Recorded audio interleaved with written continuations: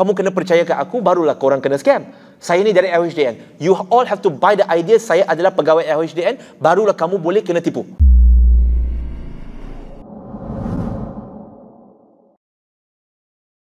Ada seorang ibu, dia datang mengadu kat saya. Saya tak mau cerita negara mana, okay? tapi dia ada kat luar negara waktu itu. Dia balik dijumpa sebab ada orang recommend dia kepada saya.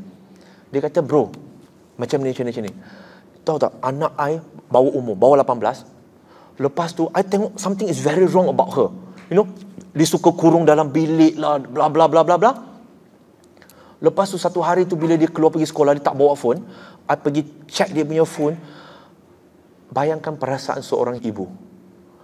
Dia terkejut anak dia hantar gambar tak senonoh diri dia kepada seorang lelaki yang beribu kilometer jauh daripada dia.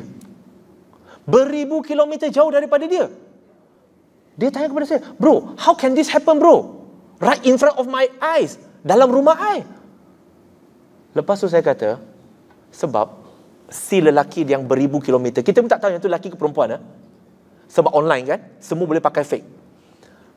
Sebab dia telah groom dia. Dia telah groom dia untuk dapatkan first, dia akan dapatkan kepercayaan dulu. Kalau tak dapat kepercayaan, it's difficult untuk convince seseorang tu. Dia sama juga scammer kan. Kamu kena percaya ke aku, barulah korang kena scam. Saya ni dari LHDN. You all have to buy the idea saya adalah pegawai LHDN, barulah kamu boleh kena tipu. Kalau you tak buy in that saya adalah pegawai LHDN, you all tak dapat kena tipu. Sama juga. Individu itu groom, groom, groom, groom, groom dia. Sampai tanpa sedar, anak dia pun hantar gambar dia. Dan kemudian, kononlah cinta, suka kat dia. Tetapi end up, ugut. Money scam. Dia ugut.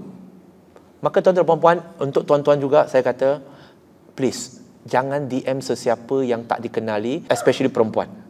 Jangan kata, hai, Assalamualaikum, saya nampak profil awak, cantik lah. That is the beginning of everything. Eh?